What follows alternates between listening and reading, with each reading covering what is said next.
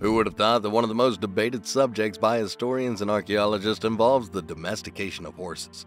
That's right, for quite a while now, people have argued as to when humans began to domesticate wild horses.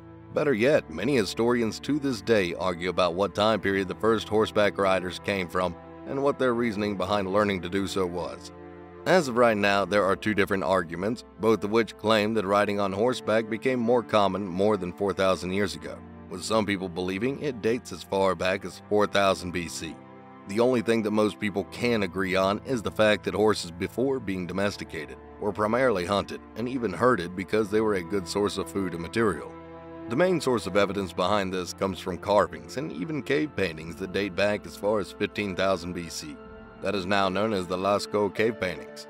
The paintings show animals that are clearly wild horses, none of which are wearing any sort of harnesses or anything that would possibly indicate that they were domesticated as far as back then. In fact, the first depictions of horses while people riding atop them didn't appear until much closer to 2000 BC.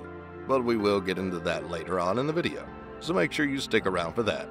Now, like most animals who have been domesticated, the way the horses look today is very different from the way that wild horses looked before humans were able to do things like selective breeding and other manipulations to the gene pool.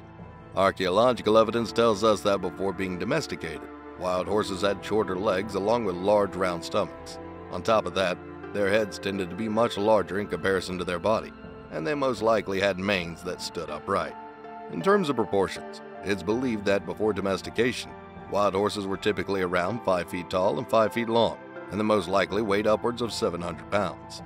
If you enjoyed today's video, please leave a like and make sure you subscribe to our channel to make sure you don't miss a single upload. One of the first things that we should look at is why settlements would want or possibly even need to domesticate horses. The most widely believed purpose behind this was simply because horses made a reliable, resilient, and plentiful source of food and other raw materials. Unlike other animals such as cattle or sheep, Horses had adapted and evolved to be able to not only live, but thrive in colder and harsher environments. Their bodies have adapted to withstand the cold, and they were also still able to get their own food, which is what set them apart from other food sources like cattle. You see, the settlement would have to provide the cattle with food during the winter, but horses, on the other hand, had learned to use their hooves to scratch through layers of ice and snow so that they could get to the grass underneath. This meant that once humans learned how to herd animals and applied that to horses, all a settlement would have to do was herd a large group of horses into a small valley, where they would then cut them off from the rest of the world. The horses would survive there, and the humans would use them as a source of food and raw materials whenever they needed to do so. This herding process has also led archaeologists to find massive dig sites that were filled with various animal bones. But what's really interesting is that in some of the sites, more than 99% of the bones belong to horses. This brings us to our first argument which has primarily been based on archaeological and osteological studies. For a while, and arguably to this day, it's been nearly impossible to determine whether or not a horse has been ridden based on the state of its remains. You can find out a lot about an animal or a human based on the condition of their bones, such as their eating habits, their breeding habits, and a whole lot more. One thing that has never been apparent in the remains of horses, though, is whether or not they have been ridden. This doesn't appear to have any effect on their bones. At least, that's what a lot of people believe. In the early 2000s, this all changed when a study was performed on the remains of horses dating back to around 4000 BC.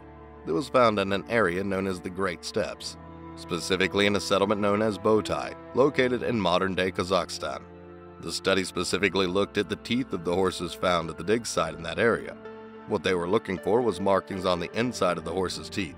That would indicate that they had been biting down on the bit that is used in harnesses. The bit is the section of the harness that goes through the mouth of the horse, and it was believed that from biting down on this bit for a long period of time, the horse's teeth have some sort of indentation. As it would turn out, the researchers discovered that there were what they believed to be the exact indents on the teeth that they had been looking for. This study has led some researchers to believe that the first ridden horses could have come from Botai, sometime between 3700 and 3000 BC. These dates also lined up with the increased amount of horse remains that had been found in dig sites throughout Eurasia. After learning how to ride the horses, it was much easier for traders, hunters, and sometimes entire settlements to move, which led to an increase in the spread of both humans and horses across the land. As we said, most of the dig sites that date back to that period tend to contain a ton of animal remains, most of which ended up being horses. And much like the horse remains found in the Botai site, These horses had bit marks on their teeth. Ironically enough, it's believed that the majority of the horse riders back then were hunters who would use the horses to help them hunt other wild horses for their meat. Some historians believe that this entire theory was proven false and essentially debunked, as they believe the indentations found on the horse's teeth throughout these regions were simply due to an evolutionary variant. In a similar context, it was then theorized that the first horse riders dated back to sometime between 4500 and 3500 BC in an area known as the Sredni Stog, specifically in an area that was formerly a settlement known as Dereivka. There was an archaeological dig that exposed a very large amount of horse remains. Though the number wasn't quite as high as those found in the Botai dig site, out of all the remains found in Dereivka, 63% of them belonged to horses. Archaeologists also discovered artifacts at the dig site that were believed to be the portion of the horse harnesses that go near the cheek and attach to the bit that goes in their mouth. The artifacts were carved out of antlers and were also found in other portions of the western steppe. This also coincides with the discovery that it was around this time period the settlements all around the steppe suddenly became involved in trade, which would have been made more likely thanks to an increased mobility pattern, which would have been thanks to their newfound form of transportation. Now, this isn't the only argument, though. There is still a large group of historians, scientists, and archaeologists that believe riding on horseback didn't come around until the invention of the chariot, which was sometime around 2000 BC. They also believe that there is no real evidence to support that settlements began riding on horses any earlier than this. We mentioned before that there is no direct way for an archaeologist to determine whether or not a horse has been ridden. Therefore, any speculation based on the horse's teeth hasn't necessarily been proven to be related to a bit from a harness. As for the artifacts discovered in the Dereivka dig site that were believed to be sections of the harness made from antlers, that is simply speculation. Other historians believe that the artifacts were actually tools made out of antlers instead of sections of a harness. As for the massive amount of horse remains found in dig sites near ancient settlements, most historians believe that the horses were simply herded into those areas so that they could be harvested for their milk and meat, since they were hardier animals than most cattle. According to most historians that have studied early horse riders, the only true evidence would come from images that were found, whether it be cave paintings or engravings. As it stands, the earliest depictions of humans riding on the backs of horses were found in Mesopotamia around the year 2000 BC. These engravings and carvings showed people on horseback riding for what appears to be a sport or hunting. On top of that, these paintings depicted the horses being controlled by a rope that had been attached to a ring through the horse's nose, not by a harness with a bit of attachment. Now, as we said, this is a subject that to this day is still debated, and no one knows the real answer as to who the first people were to domesticate and ride horses. Which of these two arguments do you agree with more, though?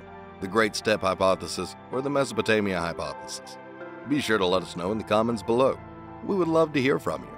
And if you enjoyed today's video, please leave a like and make sure you subscribe to our channel to make sure you don't miss a single upload.